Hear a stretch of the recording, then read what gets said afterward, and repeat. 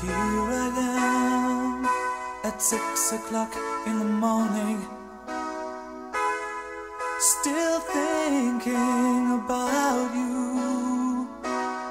It's still hard at six o'clock in the morning to sleep without you, and I know.